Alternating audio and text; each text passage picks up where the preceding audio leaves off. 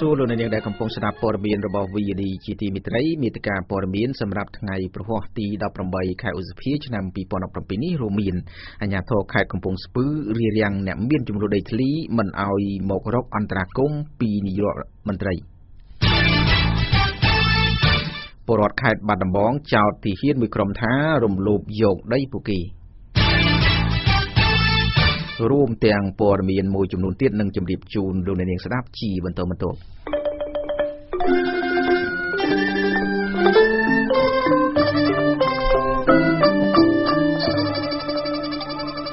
បាទលំដាប់តទៅនេះខ្ញុំបាទញឹមសុខនសូមជូនព័ត៌មានពិស្ដាបន្ទាប់ពីសមត្ថកិច្ចសំទោអ្នកមានចំនួនដីធ្លីនៅ ឃុំអមលៀងស្រុកថ្ពងខេត្តកំពង់ស្ពឺគ្រងនឹងឡើងមកដាក់ញត្តិនៅខុទ្ទកាល័យនាយរដ្ឋមន្ត្រីម្ដងទៀតស្វែងរកដំណោះស្រាយជុំវិញចំនួនដីធ្លីជាមួយនឹងក្រុមហ៊ុនអំពើក៏ប៉ុន្តែគម្រោងការធ្វើដំណើរនោះត្រូវបានអាជ្ញាធរខេត្តកំពង់ស្ពឺរារាំងលោកហួតវុធីរាយការណ៍បន្ថែម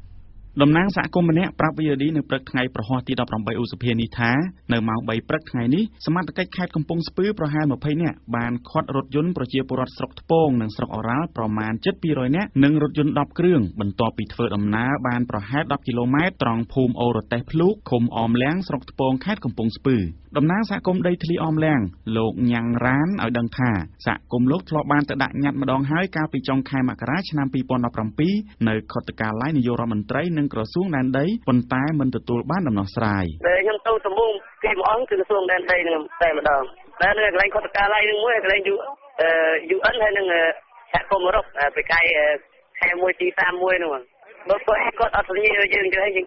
ពួកយើងចង់ទៅដើម្បីឲ្យគាត់ទទួលព្រមសញ្ញាបាទទទួលដោះស្រាយឲ្យពួកយើងអស់គ្នានាយករដ្ឋបាលស្រុកថ្ពងខេត្តកំពង់ស្ពឺលោកឈុនឈុំប្រាប់វិយឌីថាមូលហេតុដែលខាត់ការធ្វើដំណើរនេះដោយសារចង់ការពារសុវត្ថិភាពនិងបង្ការការកកស្ទះចរាចរណ៍ខ្ញុំកំពុងតែប្រមូលនៅព័ត៌មានរបស់គាត់ពាក់ព័ន្ធនឹងបាទនឹងបាទការឡើងទៅដើម្បីដាក់ញត្តិនៅ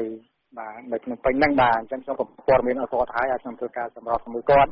ហើយអាជ្ញាធរនឹងបានប្រឹងប្រែងអស់លទ្ធភាពដោះស្រាយជូនដល់ប្រជាពលរដ្ឋជាងនៅមូលដ្ឋានបាទកាលពីម្សិលមិញតំណាងសហគមន៍ដែលរងផលប៉ះពាល់ដោយសារគម្រោងអភិវឌ្ឍឧស្សាហកម្មដំណាំអំពៅទាំង3ខេត្តរួមមានខេត្តកំពង់ស្ពឺឧត្តរមានជ័យនិងកោះកុងបានជូនដំណឹងពីការដាក់ញត្តិម្ដងទៀតក្នុងថ្ងៃនេះដើម្បីស្នើសុំលោកនាយករដ្ឋមន្ត្រីហ៊ុនសែនពិនិត្យនិងពិចារណាក្នុងការចុះហត្ថលេខាលើលក្ខខណ្ឌយោង TOR សម្រាប់អន្តរក្រសួងនិងសហភាពអឺរ៉ុប ក្នុងខណៈដែលអាជ្ញាធរឃាត់ប្រជាពលរដ្ឋខេត្តកំពង់ស្ពឺពលរដ្ឋខេត្តឧត្តរមានជ័យបានទៅដល់ខុទ្ទកាល័យនាយករដ្ឋមន្ត្រីឯពលរដ្ឋខេត្តកោះកុងកំពុងធ្វើដំណើរតាមផ្លូវស្របពេលដែលលោកនាយករដ្ឋមន្ត្រីដែលទើបតែត្រឡប់មកពីប្រទេសចិនកាលពីយប់មិញធ្វើដំណើរទៅកាន់ខេត្តកំពង់ស្ពឺដើម្បីជួបមន្ត្រីរាជការកងកម្លាំងប្រដាប់អាវុធនៅទីនោះទោះបីជាយ៉ាងណាមកដល់ត្រឹមរសៀលថ្ងៃនេះតំណាងសហគមន៍ដីធ្លីខេត្តកំពង់ស្ពឺ3នាក់រួមទាំងតំណាងប្រជាពលរដ្ឋពីខេត្តទៀតបានយកញត្តិទៅដល់ខុទ្ទកាល័យនាយករដ្ឋមន្ត្រីនិងការិយាល័យសហភាពអឺរ៉ុបនៅទីក្រុងភ្នំពេញហើយអ្នកទទួលញត្តិនៅខុទ្ទកាល័យសន្យាថានឹងបញ្ជូនបន្តឲ្យលោកនាយករដ្ឋមន្ត្រី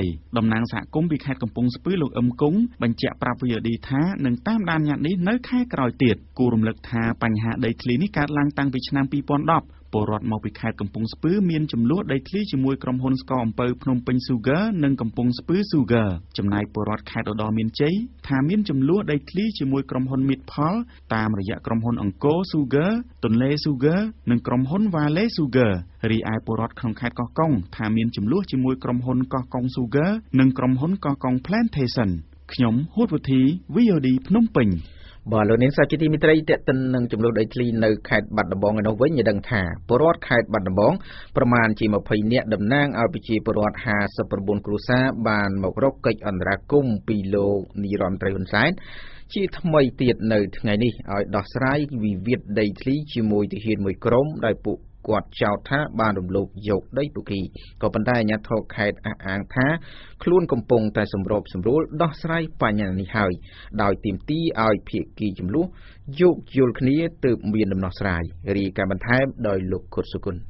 ពលរដ្ឋជិត60គ្រួសារនៅជាប់ព្រំប្រទល់ស្រុកបវលនិងស្រុកបាណន់ខេត្តបាត់ដំបងជំរុញឲ្យរដ្ឋាភិបាលពន្យាការដោះស្រាយករណីវិវាទដីធ្លីជាមួយទាហានជូនពួកគេឲ្យបានឆាប់ដោយថាពលរដ្ឋគ្មានដីធ្វើស្រែចម្ការខណៈដែលរដូវបង្កបង្កើនផលមកដល់តំណាងពលរដ្ឋប្រមាណ20នាក់នៅថ្ងៃប្រហោះទី18ខែឧសភានេះបាននាំគ្នាយកញត្តិទៅដាក់ខុទ្ទកាល័យលោកនាយករដ្ឋមន្ត្រីជាថ្មីទៀតដើម្បីសូមឲ្យលោកហ៊ុនសែនជួយអន្តរាគមន៍ផ្ដល់ដីនោះឲ្យពួកគេវិញនិងចេញបានកម្មសិនពលរដ្ឋម្នាក់វ័យជាង60ឆ្នាំលោកកែសំអាន5អ្នកសារព័ត៌មានថាពួកគាត់បានមករស់នៅនិងបង្កបង្កើនផលលើដីមានទំនាស់នោះតាំងពីឆ្នាំ2000ហើយនៅឆ្នាំ2012ក្រុមនិស្សិតបានចុះវាស់វែងដីនោះជូនពលរដ្ឋប៉ុន្តែលោកថាត្រូវទៅហ៊ានមួយក្រុមមករារាំងមិនឲ្យក្រុមនិស្សិតវាស់វែងជូនពលរដ្ឋនោះទេដោយថាដីនោះជាដីទាហានទៅវិញលោកបន្តថាបើទោះបីជាក្រុមនិស្សិតមិនវាស់វែងឲ្យក៏ដោយពលរដ្ឋនៅតែបន្តធ្វើស្រែលើដីនោះរហូតមកដល់ឆ្នាំ2017ទើបក្រុមទាហានទាំងនោះមកបោះជំរំក្នុងដីនោះនិងរារាំងមិនឲ្យពលរដ្ឋបានបង្កបង្កើនផលទៀតឡើយបាន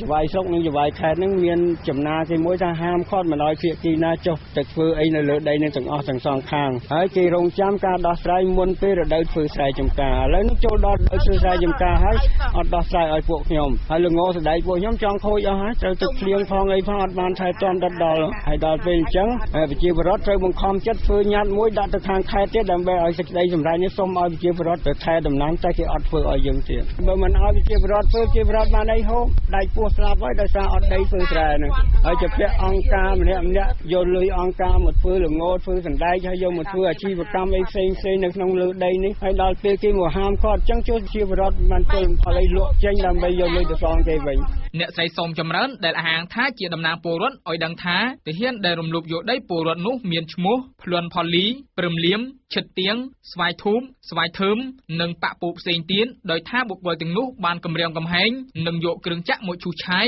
ដីដំណាំរបស់ពលរដ្ឋធ្វើជាកម្មសិទ្ធិផ្ទាល់ខ្លួនឆ្នាំ2012និស្សិតចុះទៅវាស់វែងហើយប្លន់ផលាហ្នឹងគាត់ចុះមកជំទាស់ថាដីទាហាន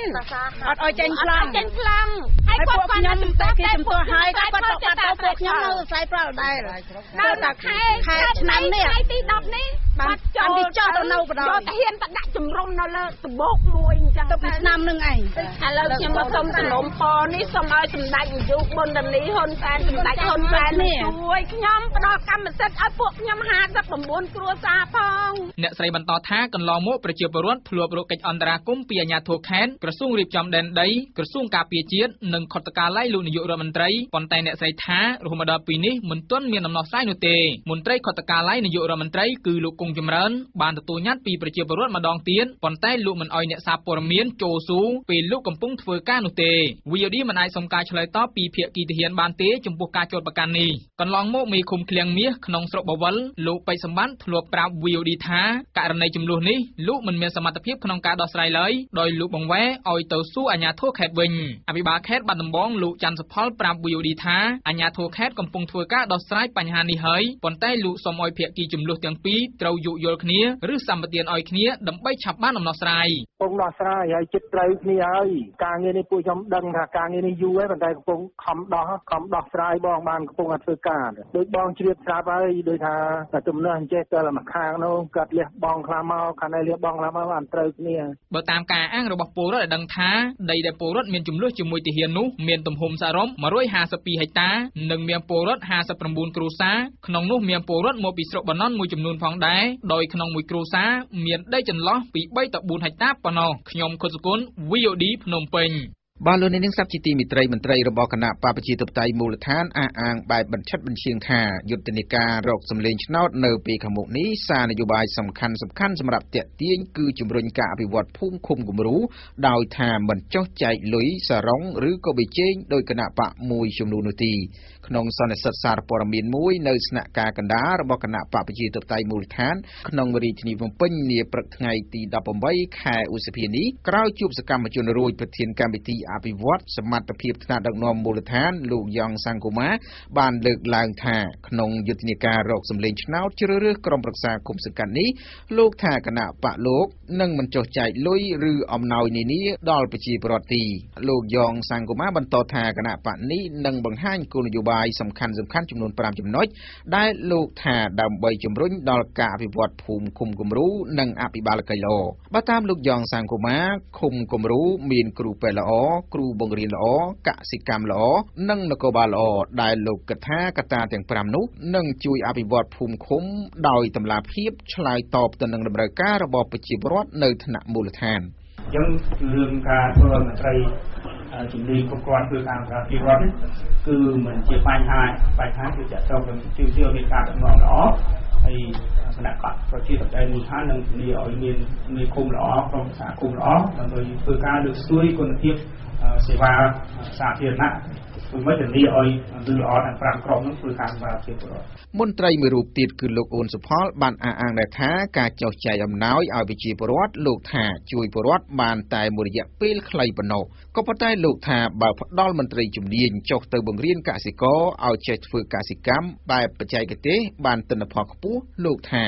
អាចជួយលើកស្ទួយជីវភាពពលរដ្ឋបានយូរអង្វែងអញ្ចឹងខ្ញុំបានគិតទួយហើយថាណាបា ក់ផ្សេងៗគឺនឹងឲ្យលុយមិនលើសពី100000ទេក្នុងមួយគ្រួសារដៃសរុបវិជ័យថ្លៃអីទាំងអស់អញ្ចឹងគាត់ក្នុង5ឆ្នាំ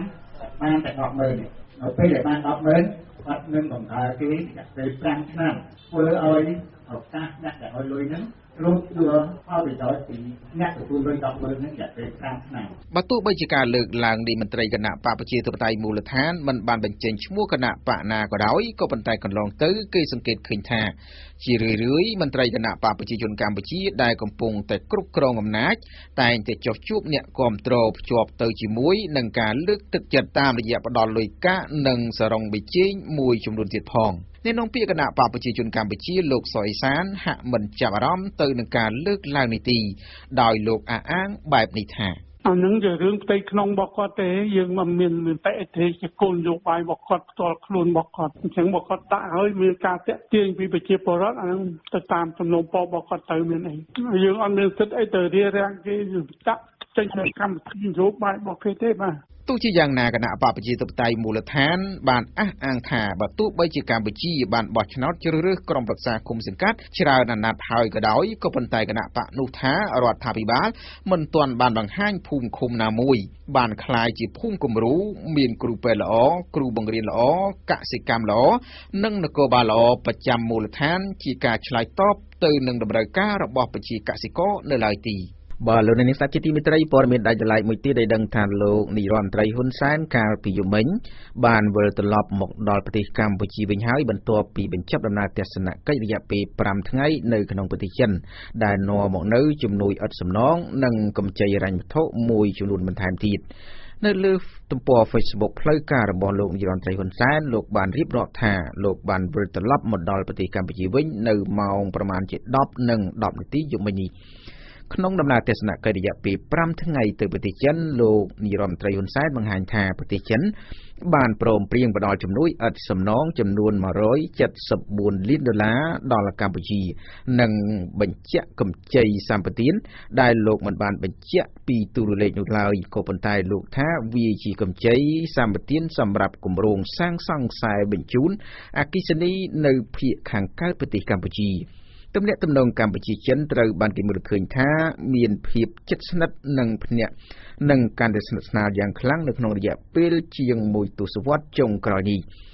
ដែលឆ្លុះបញ្ចាំងឲ្យឃើញថាតាមរយៈនៃការផ្ដល់ជំនួយឥតសំណងកម្ចីរញ្ញវត្ថុនិងកំណើនទំហំពាណិជ្ជកម្មរវាងប្រទេសទាំងពីរលោកនិរន្តត្រីហ៊ុនសែន កាលពីខែកុម្ភៈកន្លងទៅនេះក៏បានឲ្យដឹងផងដែរថាគិតត្រឹមដើមឆ្នាំ2017នេះចិនបានផ្ដល់ជំនួយឥតសំណងនិងកម្ចីសម្បទានដល់ទៅ2000ពីសំទោ4200លានដុល្លារសម្រាប់អភិវឌ្ឍវិស័យហេដ្ឋារចនាសម្ព័ន្ធកសិកម្មសុខាភិបាលអប់រំនិងសន្តិសុខសង្គមជាដើម។ លោកនាងស្ដាប់ជាទីមេត្រីព័ត៌មានដាច់ដライមួយទៀតឲ្យដឹងថាអង្គការបរិស្ថានអន្តរជាតិបានប្រកាសផ្ដល់ឯកសារភស្តុតាងបន្ថែមដើម្បីឲ្យអាជ្ញាធរកម្ពុជាស៊ើបអង្កេតករណីលួចនាំឈើខុសច្បាប់ទៅលក់នៅប្រទេសវៀតណាមការប្រកាសនេះគឺបន្ទាប់ពីអង្គការនេះចេញរបាយការណ៍មួយបង្ហាញថាចំនួនឈើខុសច្បាប់នៅកម្ពុជានៅតែបន្តកើនឡើងរាយការណ៍បន្តដោយលោកពេជ្រចម្រុង យោងតាមការចុះផ្សាយលើគេហទំព័ររបស់ខ្លួននៅថ្ងៃទី16ឧសភាឆ្នាំ2017ទីភ្នាក់ងារស៊ើបអង្កេតផ្នែកបរិស្ថាន Environmental Investigation Agency បានប្រកាសផ្តល់ឯកសារនិងភស្តុតាងបន្ថែមដើម្បីឲ្យអាជ្ញាធរកម្ពុជាស៊ើបអង្កេតករណីលួចនាំឈើខុសច្បាប់ពីខេត្តរតនគិរីទៅប្រទេសវៀតណាមបន្ទាប់ពីអង្គការនេះចេញរបាយការណ៍មួយកាលពីលើកមុននឹងថាត្រូវបានក្រសួងបរិស្ថានប្រកាសថានឹងធ្វើការស៊ើបអង្កេតលើករណីនេះ ឯកសាររបស់អង្គការបរិស្ថានអន្តរជាតិនេះបានរាប់បញ្ចូលរូបភាពពីផ្កាយរណបដែលបង្ហាញពីទីតាំងស្តុកឈើធំៗក្នុងតំបន់ជាប់ព្រំដែនគ្រប់គ្រងដោយយោធាវៀតណាមឯកសារពន្ធគយនៃការនាំឈើចេញខុសច្បាប់រាប់ពាន់ម៉ែត្រគូបឯកសារផ្ដល់អាជ្ញាប័ណ្ណខុសច្បាប់របស់រដ្ឋាភិបាលវៀតណាមដល់ក្រុមហ៊ុនចំនួន16ដែលគិតជាទំហំឈើចំនួន23ម៉ឺនម៉ែត្រគូបរួមទាំងវិក័យប័ត្រនាំចេញនាំចូលឈើពីកម្ពុជាទៅវៀតណាមមានទឹកប្រាក់ជាង300លានដុល្លារអាមេរិកតាំងពីខែមករាឆ្នាំ2016 ក្រៅពីនេះទីភ្នាក់ងារស៊ើបអង្កេតផ្នែកបរិស្ថានរកឃើញថាមានក្រុមហ៊ុនកម្ពុជាចំនួន4បានចូលរួមក្នុងចំនួនឈើខុសច្បាប់នេះដូចជាក្រុមហ៊ុនណាំថាញ់ Cowood Innovation ក្រុមហ៊ុនផាត់សុកជា Trading ក្រុមហ៊ុនពេជ្ររិទ្ធសីនិងក្រុមហ៊ុន Wood Innovation Locklist អ្នកនាំពាក្យក្រសួងបរិស្ថានលោកសៅសុភីបឲ្យ VOD ដឹងនៅថ្ងៃពុធនេះថាលោកស្វាគមន៍បើសិនអង្គការបរិស្ថានអន្តរជាតិមួយនេះពិតជាចង់ជួយកម្ពុជាក្នុងការស៊ើបអង្កេតករណីនាំឈើខុសច្បាប់មែន លោកមានប្រសាសន៍ថាបច្ចុប្បន្នអាជ្ញាធរកម្ពុជាកំពុងពិនិត្យលើរបាយការណ៍ទាំងនោះនិងថារដ្ឋាភិបាលក៏កំពុងផ្ដោតទៅលើការពង្រឹងការអនុវត្តនិងការអភិរក្សជាក់ស្ដែងដើម្បីដោះស្រាយបញ្ហានេះនៅពេលសួរថាតើរដ្ឋាភិបាលនឹងមានចំណាត់ការយ៉ាងណាចំពោះក្រុមហ៊ុននាំឈើខុសច្បាប់ទាំងនោះលោកសៅសុភាពហាក់មិនបានឆ្លើយចំសំណួរទេប៉ុន្តែលោកគ្រាន់តែថាគណៈកម្មាធិការជាតិទប់ស្កាត់និងបង្ក្រាបបទល្មើសធនធានធម្មជាតិជាអ្នកចេញវិធានការជាក់ស្ដែង បើសិនជាគាត់ផ្ញើមកភាគីកម្ពុជាគឺយើងអត់ដែលយើងនឹងទទួលពិនិត្យមើលបាទខ្ញុំអត់ទាន់ដឹងថាតើការស៊ើបអង្កេតឬមួយក៏យ៉ាងម៉េចយ៉ាងណាត្រូវធ្វើទេក៏ប៉ុន្តែគ្រាន់តែនៅក្នុងដំណាក់កាលនេះគឺកំពុងពិនិត្យមើលរបាយការណ៍ហ្នឹងគណៈកម្មការជាតិទប់ស្កាត់និងបង្ក្រាបបទល្មើសទុនធានធម្មជាតិហើយក្នុងករណីដែលមានការនាំឈើចេញខុសច្បាប់ឬក៏មានការកាប់ឈើខុសច្បាប់គឺគណៈកម្មការជាតិនឹងមានវិធានការបង្ក្រាបទប់ស្កាត់បាទ បណ្ដាញស្រាវជ្រាវផុសតាងបទល្មើសធនធានធម្មជាតិនៅកម្ពុជាលោកឈឹមសាវុតរិះគន់ចំណាត់ការទប់ស្កាត់បទល្មើសព្រៃឈើរបស់រដ្ឋាភិបាលថាគ្មានប្រសិទ្ធភាពដោយលោកថាទោះបីរដ្ឋាភិបាលព្រមទទួលយករបាយការណ៍ជាក់លាក់ណាមួយទៅពិនិត្យនិងពិចារណាក៏ដោយលោកថាព្រៃឈើនៅកម្ពុជាកំពុងតែហិនហោចទៅដោយសាររដ្ឋាភិបាលគ្មានឆន្ទៈដោះស្រាយពិតប្រាកដនិងដោយសារការមិនអនុវត្តច្បាប់ឲ្យបានម៉ឺងម៉ាត់ថាវាមិនមានចេតនាពិតប្រាកដច្បាស់លាស់ហើយវាមិនអនុវត្តនៅយកគោលការណ៍ច្បាប់អនុវត្តទេដែលខ្ញុំគិតថាវាអត់មានប្រសិទ្ធភាពទោះជារបាយការណ៍ណាក៏ដោយដែលលំអិតឬក៏ច្បាស់លាស់យ៉ាងម៉េចក៏គេអត់ចាប់អារម្មណ៍ឬក៏គេគ្រាន់តែធ្វើដើម្បីឲ្យនិយាយទៅថាប្រកបកិច្ចឲ្យតែវាដែលចប់ចប់ទៅប៉ុន្តែលទ្ធផលគេអត់គិតទេគេអត់មានចេតនាបក្រាបទេខ្ញុំខ្ញុំគិតថាវាអត់មានតែប្រសិទ្ធភាពអីទេទៅខ្មែរយើងមើលស្ថានភាពបច្ចុប្បន្ននេះបើសិនជានៅតែអញ្ចឹងគឺវាជារួយពីហិនហោយអស់កាលពីសប្តាហ៍មុនទីភ្នាក់ងារស៊ើបអង្កេតផ្នែកបរិស្ថានដែលមានមូលដ្ឋាននៅទីក្រុងឡុងបានចេញរបាយការណ៍មួយក្រោមចំណងជើងថាជនល្មើសមុខដដែលចំនួនឈើខុសច្បាប់របស់វៀតណាមក្នុងរបាយការណ៍នោះរកឃើញថានៅចន្លោះខែវិច្ឆិកាឆ្នាំ2016ដល់ខែមិនិនាឆ្នាំ2017ទំហំឈើប្រមាណ30ម៉ឺនម៉ែត្រគូបត្រូវបានលួចលាក់នាំចេញនិងធ្វើឲ្យស្របច្បាប់ពីកម្ពុជាទៅវៀតណាមខណៈដែលកម្ពុជាបានហាមឃាត់ការនាំចេញឈើក្នុងតំបន់ការពារទៅក្រៅប្រទេស អង្គការនេះអះអាងថាចាប់ពីដើមខែវិច្ឆិកាឆ្នាំ2016សកម្មភាពលួចកាប់ឈើខុសច្បាប់បានកើនឡើងខ្លាំងនៅតំបន់ការពារក្នុងខេត្តរតនគិរីដូចជាតំបន់ការពារសហគមន៍ក្នុងឧទ្យានវីរៈជ័យឧទ្យានជាតិអូយ៉ាដាវនិងតំបន់ជម្រកសត្វព្រៃលំផាត់ហើយបើគិតជាប្រាក់សំណូកគឺលើសពី13លានដុល្លារអាមេរិកតាមរបាយការណ៍សកម្មភាពលួចកាប់និងនាំចេញឈើនេះគឺដោយសារការខុបខិតគ្នានិងការសូកប៉ាន់រវាងអាជ្ញាធរប្រទេសទាំងពីរដោយអង្គការនេះអះអាងថាឈ្មួញវៀតណាមបានសូកប៉ាន់មន្ត្រីខ្មែររាប់ពាន់លានដុល្លារដើម្បីចូលកាប់ឈើក្នុងតំបន់អភិរក្សនិងតំបន់ការពារក្នុងទឹកដីកម្ពុជាខ្ញុំពេជ្រចម្រុង VOD ភ្នំពេញបាទលោកនាងស្ដាប់ជាទីមេត្រីតេតិននឹងការព្យាករកំណើនសេដ្ឋកិច្ចកម្ពុជានៅវិញឲ្យដឹងថាកំណើនសេដ្ឋកិច្ចកម្ពុជាត្រូវបានធនាគារពិភពលោកព្យាករថានឹងនៅតែរឹងមាំជាមួយនឹងអត្រាកំណើន6.9%ទាំងនៅឆ្នាំនេះនិងឆ្នាំក្រោយ ដោយសារតែកម្លាំងជំរុញដ៏សំខាន់នៃវិស័យសំណង់និងកាត់ដេរ ក្នុងរបាយការណ៍រនីយគីភូលោកបានឲ្យដឹងថាបច្ចុប្បន្នភាពសេដ្ឋកិច្ចកំណើនសេដ្ឋកិច្ចកម្ពុជា ដែលចេញផ្សាយកាលពីថ្ងៃម្សិលមិញធនាគារពិភពលោកបានអះអាងថាដោយមានកម្លាំងជំរុញលើវិស័យសំណង់និងវិស័យកាត់ដេរកំណើនសេដ្ឋកិច្ចកម្ពុជានៅតែមានភាពរឹងមាំជាមួយនឹងកំណើន6.9%នៅឆ្នាំ2017និងឆ្នាំ2018 ក៏ប៉ុន្តែក្នុងរបាយការណ៍ដដែលនេះធនាគារពិភពលោកបានព្រមានអំពីសញ្ញាមួយ ចំនួនបង្ហាញពីភាពយឺតយ៉ាវនៃវិស័យមួយចំនួនជាពិសេសវិស័យសំណង់ខណៈដែលវិស័យកាដេកំពុងតែប្រឈមមុខទៅនឹងការប្រកួតប្រជែងយ៉ាងខ្លាំងដោយសារតែកំណើនតម្លៃ ប្រាក់ដុល្លារកំណើនតម្លៃពលកម្មនិងការប្រកួតប្រជែងរបស់បណ្ដាប្រទេសមួយចំនួននៅក្នុងតំបន់ដែលមានប្រាក់ឈ្នួលទាបដែលធ្វើឲ្យវិស័យកាដេមានកំណើនត្រឹម8.4%ប៉ុណ្ណោះនៅឆ្នាំ2016ធៀបទៅនឹងកំណើន12.3%នៅក្នុងឆ្នាំ2015កន្លងមក។ ធនាគារពិភពលោកបានបញ្ជាក់បន្ថែមផងដែរថាបើទោះបីជាយ៉ាងណាក៏ដោយការធ្លាក់ចុះបន្តិចបន្តួចនៃកំណើនសេដ្ឋកិច្ចកម្ពុជា ដោយសារតែការធ្លាក់ចុះនៃវិស័យកាដេត្រូវបានគេរំពឹងថានឹងទូទាត់ត្រឡប់ឡើងមកវិញជាមួយនឹងការងើបឡើងវិញនៃវិស័យទេសចរកម្ពុជាមួយផ្នែកដោយសារតែការបង្កើតជើងហោះហើរត្រង់ត្រង់នៅថ្មីថ្មីនេះនៅក្នុងតំបន់និងការផ្ដួចផ្ដើមមួយចំនួន ដើម្បីជំរុញកំណើន ភ្ញៀវទេសចរនិងការងើបឡើងវិញដោយសង្ឃឹមដោយសន្សំសន្សំនៃវិស័យកសិកម្មផងដែរអ្នកគ្រប់គ្រងធនាគារពិភពលោកប្រចាំកម្ពុជា អ្នកស្រីអ៊ីនក្លូណាដូប្រជា បានលើកឡើងនៅក្នុងរបាយការណ៍នោះថាដើម្បីរក្សាកំណើនដ៏រឹងមាំនេះបាន វាជារឿងសំខាន់ដែលត្រូវធានាថាប្រទេសកម្ពុជា វិនិយោគលើវិស័យហេដ្ឋារចនាសម្ព័ន្ធសាធារណៈនៅក្នុងទិសដៅជំរុញកំណើនសេដ្ឋកិច្ចនៅក្នុងគណៈដែលប្រទេសទាំងនោះកំពុងតែផ្ដោតទៅលើការកសាងជំនាញសម្រាប់កំណើនសេដ្ឋកិច្ច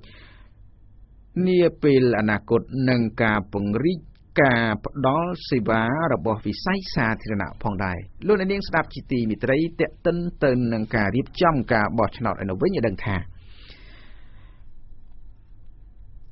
ស្របពេលដែលមន្ទិលនៃការសង្ស័យច្រើនទៅលើទឹកខ្មៅជ្រុលដៃគណៈកម្មាធិការជ្រៀបចងការបោះឆ្នោតកោជបកាលពីថ្ងៃទី17ខែឧសភាម្សិលមិញ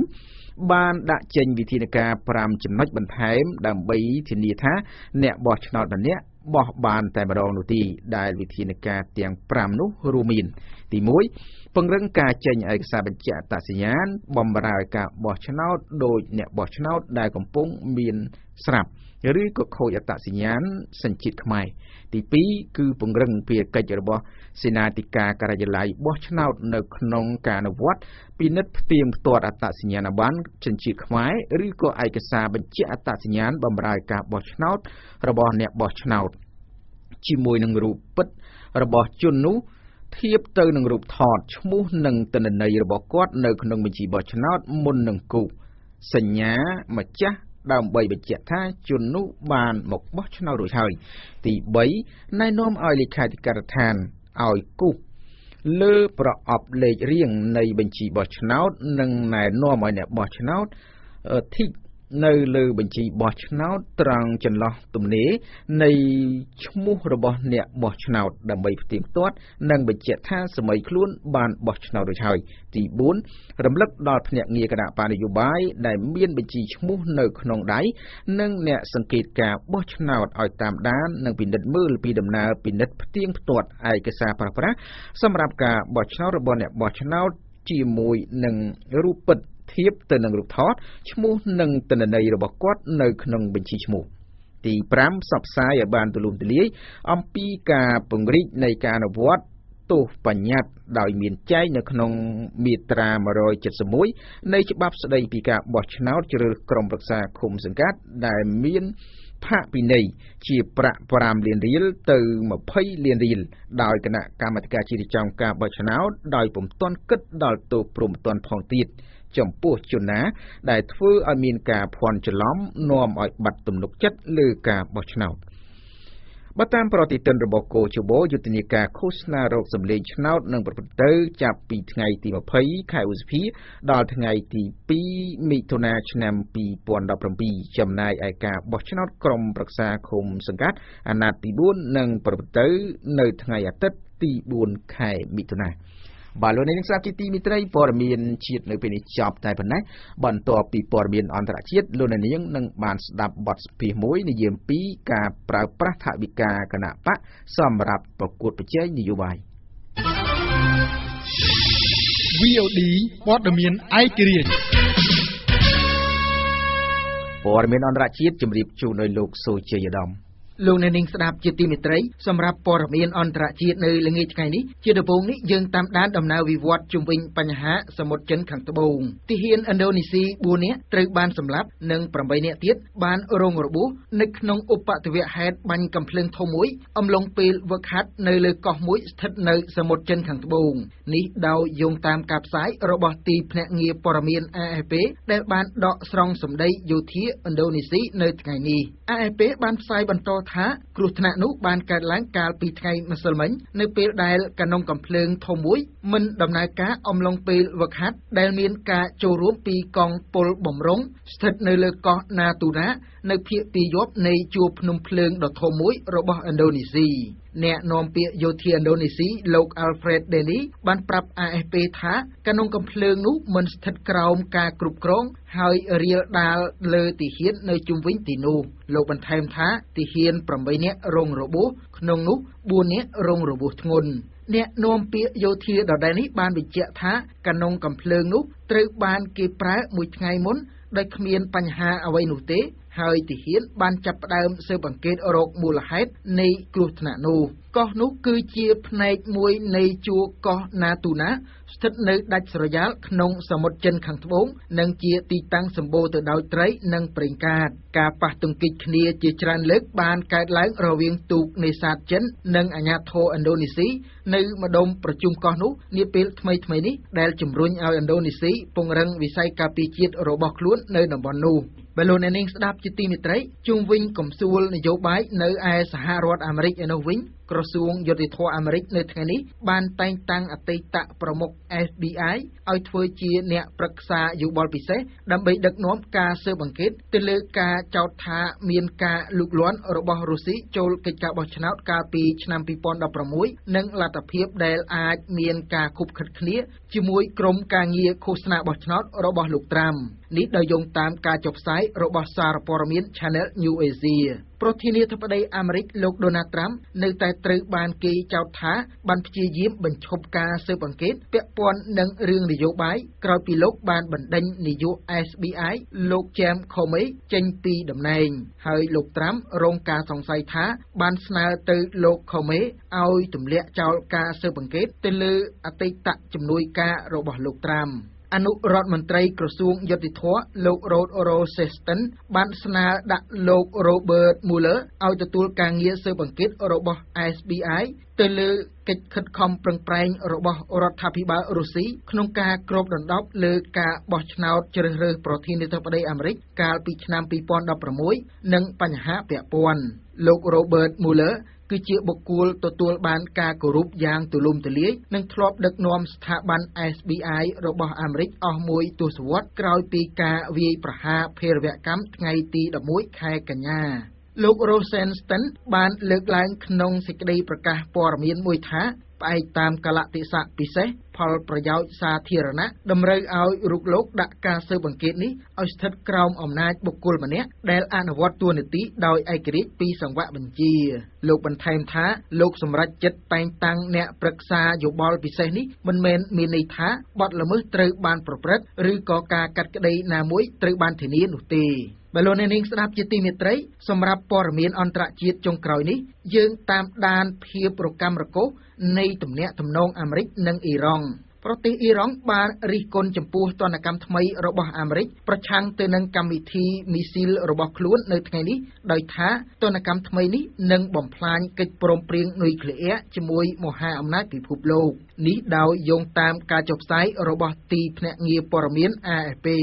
អ្នកនាំពាក្យក្រសួងការបរទេសអ៊ីរ៉ង់លោក Baram Ghazemi បានលើកឡើងតាមប្រព័ន្ធ Telegram ថាអ៊ីរ៉ង់ថ្កោលទោសចំពោះគំនិតឆ្កួតឆ្កួតរបស់រដ្ឋាភិបាលថ្មីរបស់អាមេរិកដែលប្រឹងប្រែងកាត់បន្ថយលទ្ធផលវិជ្ជមាននៃការអនុវត្តតាមកិច្ចព្រមព្រៀងនុយក្លេអ៊ែររបស់អ៊ីរ៉ង់តាមរយៈការដាក់បញ្ចូលបុគ្គលនានាចូលទៅក្នុងបញ្ជីទណ្ឌកម្មខុសច្បាប់រដ្ឋបាលប្រធានាធិបតីអាមេរិកលោកដូណាល់ត្រាំបានសម្រេចអនុវត្តតាមកិច្ចព្រមព្រៀងនុយក្លេអ៊ែរជាមួយប្រទេសអ៊ីរ៉ង់កាលពីថ្ងៃម្សិលមិញដោយបានបន្តដាក់ទណ្ឌកម្មទៅលើបុគ្គលមានជាប់ពាក់ព័ន្ធនឹងនុយក្លេអ៊ែរបើទោះបីជាលោកត្រាំបានរិះគន់កិច្ចព្រមព្រៀងនេះនាពេលមុនក៏ដោយប៉ុន្តែអាមេរិកបានដាក់ចេញវិធានការថ្មីដើម្បីពិន័យក្រមមន្ត្រីក្រសួងការពារជាតិអ៊ីរ៉ង់និងក្រមពាណិជ្ជករចិនដែលមានចំណងតាក់ទងនឹងកម្មវិធីមីស៊ីលឆ្លងទ្វីបរបស់ក្រុងតេអ៊ីរ៉ង់ដែលអាមេរិកនិយាយថាអ៊ីរ៉ង់បានរំលោភទៅនឹងច្បាប់អន្តរជាតិពីព្រោះពួកគេ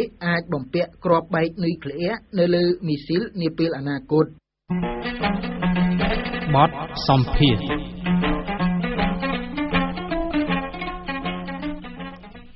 លោកអ្នកនាងស្ដាប់ជាទីមេត្រីបើទោះបីជាការប្រើប្រាស់ថវិកាចំណាយនៅក្នុងការប្រកួតប្រជែងការបោះឆ្នោតរបស់គណៈបកនយោបាយកន្លងមក គឺជារឿងចាំបាច់និងមានឥទ្ធិពលទៅលើលទ្ធផលបោះឆ្នោតក៏ដោយទាំងគណៈបកកណ្ដាលអំណាចនិងគណៈបកប្រឆាំងហាក់ទំនងជាគ្មានឆន្ទៈដែលនាំឲ្យមានការបង្កើតច្បាប់ស្ដីពីរញ្ញវត្ថុគណៈបកនយោបាយឡើយទី។ ចាប់តាំងពីឆ្នាំ2010មកម្លេះអង្គការសង្គមស៊ីវិលនៅតែបន្តតស៊ូមតិដើម្បីជំរុញឲ្យមានច្បាប់នេះនៅប្រទេសកម្ពុជា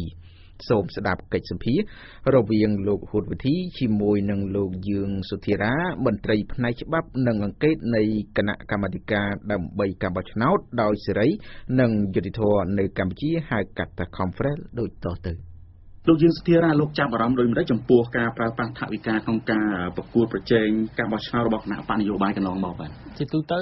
យើងឃើញថានៅក្នុងបរិបទការបោះឆ្នោតនៅកម្ពុជាយើងនឹងគឺយើងអត់ទាន់មានច្បាប់ស្ដីពីមូលធិគណៈបកនយោបាយឬក៏ច្បាប់ស្ដីពីរញ្ញធុគណៈបកនយោបាយមានមេត្រាខ្លះដែរចែងនៅក្នុងច្បាប់ស្ដីពីគណៈបកនយោបាយហើយនិងច្បាប់ស្ដីពីការបោះឆ្នោតជុតតាំងតំណាងរាស្ត្រតែច្បាប់ស្ដីពីការបោះឆ្នោតគុំសកម្មយកអត់មានចែកទេអញ្ចឹងដោយសារខ្វះខាតច្បាប់អញ្ចឹងហើយគឺថាការប្រកួតប្រជែងផ្នែកនយោបាយសង្វៀននយោបាយនៅស្រុកខ្មែរឃើញថាគណៈបកធំធំអញ្ចឹងគាត់មានលទ្ធភាពច្រើនហើយគណៈបកតូចតាចគណៈបកតូចតូចឬគណៈបកទៅកើតថ្មីហ្នឹងគាត់មានលទ្ធភាពតិចតួច ជារួមយើងសង្កេតឃើញថាអត់មានសមភាពគ្នាអត់មានភាពស្មើគ្នាសម្រាប់ការចំណាយរបស់គណៈបកនយោបាយនីមួយៗជាពិសេសក្នុងរដូវកាលនៃការឃោសនាបោះឆ្នោតនីមួយៗបាទបើតាមការអង្កេតរបស់លោកតើគណៈបកដែលចំណាយថវិកាច្រើនជាងគេបំផុតអស់ប៉ុន្មានហើយគណៈបកដែលចំណាយតិចជាងគេបំផុតតើអស់ប៉ុន្មានដែរបើយោងតាមរបាយការណ៍របស់ Confrel របាយការណ៍ស្តីពីការបោះឆ្នោតជ្រើសតាំងតំណាងរាស្ត្រឆ្នាំ2013យើងឃើញថាគណៈបកប្រជាជនកម្ពុជានិងគណៈបកសង្គ្រោះជាតិជាគណៈបកដែលឈានមុខមានលទ្ធភាពចំណាយច្រើនទៅលើការឃោសនារបស់ខ្លួនដើម្បីរកសលេងឆ្នោតក្នុងនោះយើងបានសន្និដ្ឋានប្រមាណមើលទៅឃើញថាគណៈបព្វជិជនចំណាយច្រើនជាងគេគិតជាមធ្យមប្រហែល15លានដុល្លារក្នុងមួយរយៈឃោសនាបោះឆ្នោតហ្នឹងហើយបើគិតជាខេតជាមធ្យមប្រហែលជា60ម៉ឺនដុល្លារមួយខេតអានេះគ្រាន់តែជាការប៉ាន់ប្រមាណទេហើយគណៈបកដែលចំណាយតិចតួចគឺថាគណៈបក យើងអត់មានទូរលេខទេប្រហែលជាគណៈបកតូចតូចគណៈបកដែលគាត់មានការគ្រប់គ្រងតិចហើយគណៈបកសង្គ្រោះជាតិប្រហែលជាចំណាយជាង3លានដុល្លារ3លាន5សែនដុល្លារហើយបើគិតជាមធ្យមក្នុងមួយខែគាត់ចំណាយខ្ទង់150,000ដុល្លារបាទមួយសែនកន្លះដុល្លារបាទនេះជាទូរលេខដែលយើងគាត់ថាតែជាទូរលេខសន្និដ្ឋានទេហើយសម្រាប់ការចំណាយជាក់ស្ដែងគឺប្រហែលលើសជាងនឹងឆ្ងាយហើយគណៈបកកណ្ដាលអំណាចក៏ប្រហែលជាចំណាយលើសនឹងឆ្ងាយដែរការចំណាយហ្នឹងគឺទៅលើសកម្មភាពអីខ្លះគណៈបកនីមួយៗជាពិសេសគណៈបកធំធំហ្នឹងចំណាយទៅលើការជួលផ្សព្វផ្សាយគោលនយោបាយតាមស្ថានីយវិទ្យុទូរទស្សន៍ឯកជនឬវិទ្យុរបស់ឯកជនដូចជាដើម ការបោះពុំអាវយឺតការបោះពុំខិត្តប័ណ្ណការជួលសម្ភារៈ ការផលិតសម្ភារៈឬក៏ការជួលរយន្តសម្រាប់ដឹកអ្នកគ្រប់គ្រងពីខេត្តពីស្រុកមួយទៅស្រុកមួយសម្រាប់ធ្វើការឃោសនាបោះឆ្នោតការបង្គំតន្ត្រី ការផ្ដល់សហុយធ្វើដំណើរដល់អ្នកគ្រប់គ្រងមកធ្វើការបោះឆ្នោតការចំណាយទៅលើគ្រឿងឧបភោគបរិភោគប្រើប្រាស់ផ្សេងផ្សេងទៀតមានព័ត៌មានខ្លះដែរដែលចែកលុយទៅដល់អ្នកដែលចូលរួមឃោសនាបោះឆ្នោតអាចថាមួយថ្ងៃឬក៏មួយព្រឹកហ្នឹងគេឲ្យ2 3ម៉ឺនអញ្ចឹងទៅសម្រាប់ការចូលរួមស្រែកជ័យខុសឃោសនាបោះឆ្នោតឲ្យគណៈបករបស់គេអាហ្នឹងគឺយើងអត់ទាន់គិតដល់ហ្នឹងទេប៉ុន្តែសម្រាប់ចំណាយទាំងអស់ដែលខ្ញុំរៀបរាប់មកមិញគឺយើងសន្និដ្ឋានទៅប្រហែលជាខ្ទង់ប៉ុណ្ណឹងទាំងគណៈបកធំទាំងគណៈបកតូចតើបានចំណូលមកពីណានិយាយអំពីចំណូលរបស់គណៈបកគឺជាធំសមាជិករបស់គណៈបកមានន័យថាគណៈបកនីមួយៗគឺមានសមាជិក membership របស់គេអញ្ចឹងប្រភពចំណូលធំគឺមកពីសមាជិករបស់គណៈបកហ្នឹងក៏មានដែរគេហៅមូលនិធិផ្សេងផ្សេងដែលបានមកពីមហាជនហើយក៏មានប្រភពចំណូលផ្សេងទៀតដែរពីការធ្វើអាជីវកម្មរបស់គណៈបកឧមាគណៈបកមានទូរទស្សន៍ផ្សាយចំណូលអាចមកពីការជួលទូរទស្សន៍ជួលម៉ោងផ្សាយទៅឲ្យអ្នកណាមួយអញ្ចឹងទៅគាត់អាចរកចំណូលបានមកពីហ្នឹងនៅមានប្រភពចំណូលច្រើនទៀតប៉ុន្តែចំណូលដែលសំខាន់សំខាន់គឺបានមកពីសមាជិករបស់ខ្លួនហ្នឹងឧមាតំណាងរាជគាត់ត្រូវប្រមាណ 10%គឺឬក៏5 10%នៃប្រាក់ខែប្រកួតត្រូវតែបង់ចូលជាវិភាគទានរបស់គណៈបកប្រទេសច្រើនទេនៅលើពិភពលោកឬប្រទេសនៅអាស៊ីអាគ្នេយ៍យើងច្រើនទេដែលមានច្បាប់ស្តីពីរញ្ញវត្ថុគណៈបកនយោបាយយើងដឹងហើយក្នុងអាស៊ីអាគ្នេយ៍គឺឥណ្ឌូនេស៊ីជាប្រទេសជាតិតៃធំជាងគេបំផុតចឹងឥណ្ឌូនេស៊ីបានឈានមុខគេនៅក្នុងអាស៊ីអាគ្នេយ៍ហើយនៅអាស៊ីផងដែរមានប្រទេស ប៉ាគីស្ថានប្រទេសអាហ្វហ្គានីស្ថានប្រទេសឥណ្ឌាអីនេប៉ាល់អីសុទ្ធតែគេមានច្បាប់ស្តីពីរ៉ែធុគណៈបញ្ញោបាយនឹងអស់ហើយហើយប្រទេសឥណ្ឌាទោះបីជាមានអំពើពុករលួយប្រព្រឹត្តក្នុងរឿងនយោបាយនឹងច្រើនប៉ុន្តែយ៉ាងហោចណាស់គេមានច្បាប់ហើយក៏អនុវត្តច្បាប់របស់គេក៏ល្អប្រសើរគ្រាន់បើដែរប្រទេសដែលអនុវត្តច្បាប់ស្តីពីរ៉ែធុគណៈបញ្ញោបាយនេះ ល្អជាងគេបំផុតគឺប្រទេសកាណាដាបាទខ្ញុំលើកឧទាហរណ៍មួយជាក់ស្ដែងនៅក្នុងប្រទេសកាណាដាតាមច្បាប់របស់ប្រទេសកាណាដាគឺថាបុគ្គលម្នាក់គាត់អាចធ្វើជាមូលនិធិជួយទៅគណៈបកបានតែ1500ដុល្លារទេក្នុងមួយឆ្នាំ អញ្ចឹងមួយឆ្នាំ1500គាត់ចង់អង្គន់ទៅជាប្រមាណក៏ដោយឲ្យទៅគណៈបកណាមួយក៏ដោយគាត់ចង់កន់ប្រមាណភាគរយក៏ដោយគឺគាត់អាចមានសិទ្ធិចំណាយតែ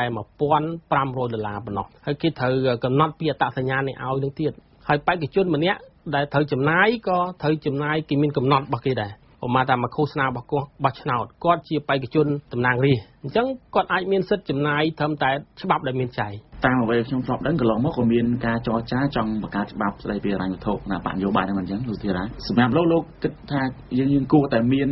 ក្នុងកលៈទេសៈណាមួយយ៉ាងម៉េចដែរបាទតាមពិតទៅសង្គមស៊ីវិលបាន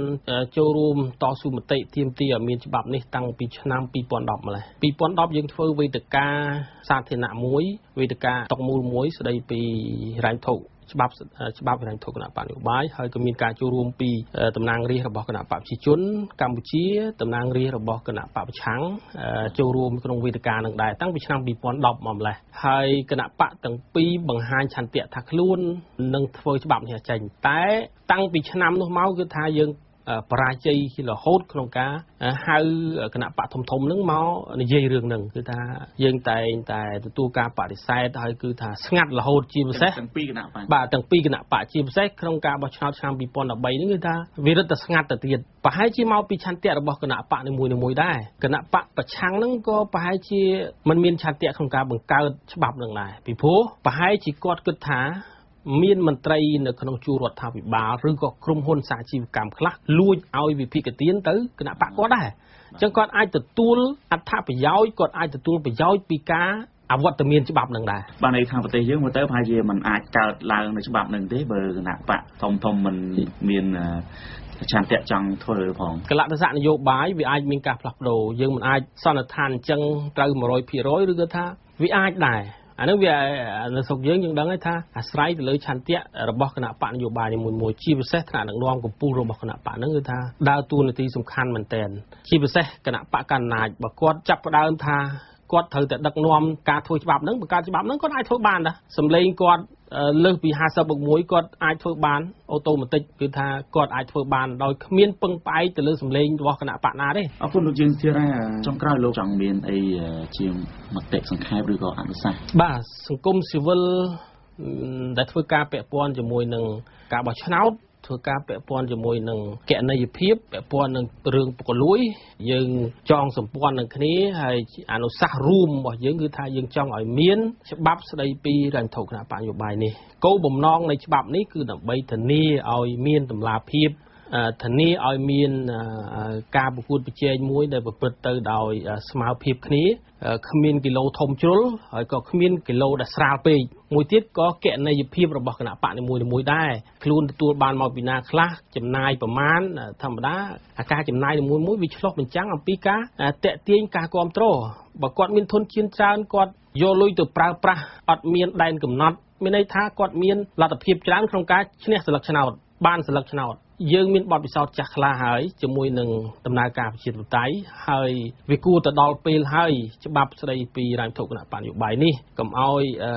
គណៈបកធំធំមានលទ្ធភាពចំណាយអីក៏ចំណាយបានដែរមានធនធានច្រើនសម្រាប់ចំណាយហើយគណៈបកតូចគណៈបកដែលមានការគ្រប់គ្រងតិចគាត់ពិបាកគាត់មានកម្រិតក្នុងការទៅប្រកួតប្រជែងជាមួយនឹងគេនេះជាអនុសាសន៍រួមរបស់អង្គការសង្គមស៊ីវិលបាទ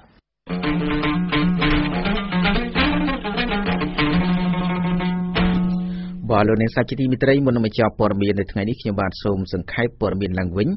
នៅថ្ងៃនេះអ្នកមានចំនួនដីធ្លីមួយចំនួននៅខេត្តកំពង់ស្ពឺគ្រោងនឹងឡើងមកដាក់ញត្តិនៅខុទ្ទកាល័យនាយរដ្ឋមន្ត្រី ស្វែងរកអន្តរាគមជាលើកទី2ឲ្យជួយដោះស្រាយឬក៏ពន្លឿននៃដំណោះស្រាយចំនួនដីធ្លីពួកគាត់ដែលបានអូសបន្លាយច្រើនឆ្នាំជាមួយនឹងក្រុមហ៊ុនអំពៅមួយនៅខេត្តនោះ ក៏ប៉ុន្តែការធ្វើដំណើររបស់ពួកគេត្រូវបានអាជ្ញាធររារាំងទោះជាយ៉ាងណានៅខណៈដែលរារាំងតំណាងអ្នកភូមិពី3នាក់បានឡើងមកដល់រាជធានីភ្នំពេញហើយបានដាក់ញត្តិតាមការគ្រោងទុកព័ត៌មានមួយទៀតតេតិននឹងចំនួនដីធ្លីដែរពលរដ្ឋនៅខេត្តបាត់ដំបងប្រមាណជា20នាក់តំណាងឲ្យពលរដ្ឋ59គ្រួសារបានមករកកិច្ចអន្តរាគមន៍ពីលោកនាយរដ្ឋមន្ត្រីហ៊ុនសែនជាថ្មីម្ដងទៀត ឲ្យជួយដោះស្រាយចំនួនដីធ្លីពួកគេដោយពួកគេចោទថាទាហានមួយក្រុមបានព្យាយាមរំលោភយកដីពួកគេក៏ប៉ុន្តែទោះយ៉ាងណាញត្តិជាលើកទី2ត្រូវបានមន្ត្រីខុទ្ទកាល័យទទួលយកហើយអាជ្ញាធរខេត្តបាត់ដំបងបានប្រាប់វីឌីថាអញ្ញាធរកំពុងតែស្វែងរកដំណោះស្រាយករណីប៉ុន្តែលោកស្នើឲ្យភាគីទាំងពីរត្រូវបន្ទន់អរិយាប័ត្រទើបរកដំណោះស្រាយបាន